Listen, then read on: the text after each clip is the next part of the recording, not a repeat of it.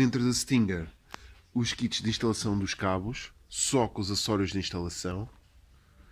os RCAs, os Interconnect, estes aqui da série 9000,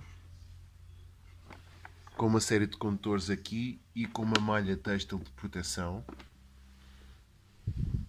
os kits de cabos em OFC,